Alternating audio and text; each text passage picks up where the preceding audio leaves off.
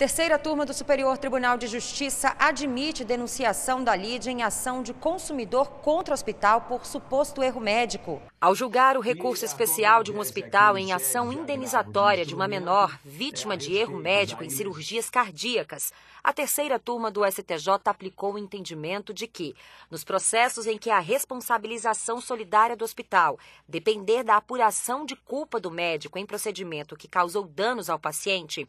é possível, excepcionalmente, a denunciação da lide pelo estabelecimento, para que o profissional passe a integrar o polo passivo da ação. Ao julgar o caso, o Tribunal de Justiça de Minas Gerais rejeitou a alegação de ilegitimidade passiva do hospital. A decisão teve como base a teoria da aparência, já que o colegiado entendeu que, para a consumidora, o vínculo entre os médicos que fizeram as cirurgias e o hospital não é relevante, importando tão somente a satisfação do direito de reparação da paciente.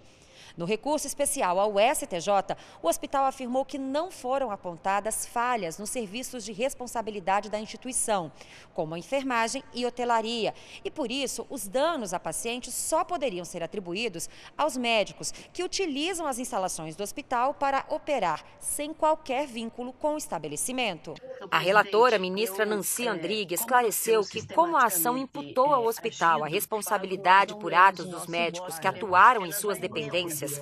é necessário apurar a existência de vínculo entre a instituição e os profissionais, bem como se houve negligência, imperícia ou imprudência na conduta médica.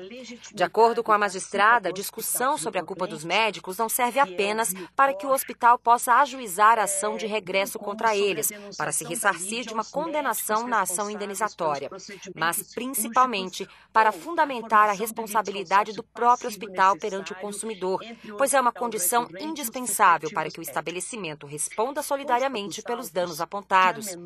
A turma seguiu o entendimento da relatora e deu provimento ao recurso especial do hospital.